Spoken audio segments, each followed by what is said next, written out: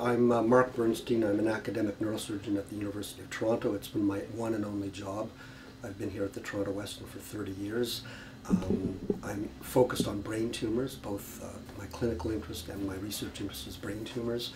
Uh, I got interested in some fuzzy stuff in neurosurgery, did a master's in bioethics 15 years ago, started to do qualitative research, and around that time I got interested in global surgery. I think it stems from when I met a whole bunch of international colleagues at the Masters in Bioethics.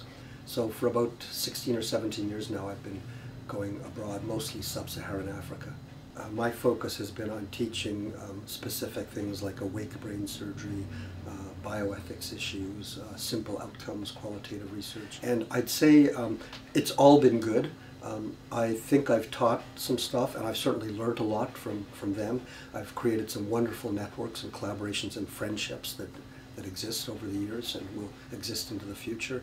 Um, so another award that I've initiated, which I'm actually quite proud of, is the Women in Neurosurgery Award uh, which basically funds a female neurosurgeon or neurosurgery resident from a, a low or middle income country to attend uh, the two big neurosurgery meetings that are held in North America every year, one in the spring and one in the fall. It's all about sustainability. I, I, don't really believe in the model of going over and doing 17 complicated brain tumor surgeries and coming back.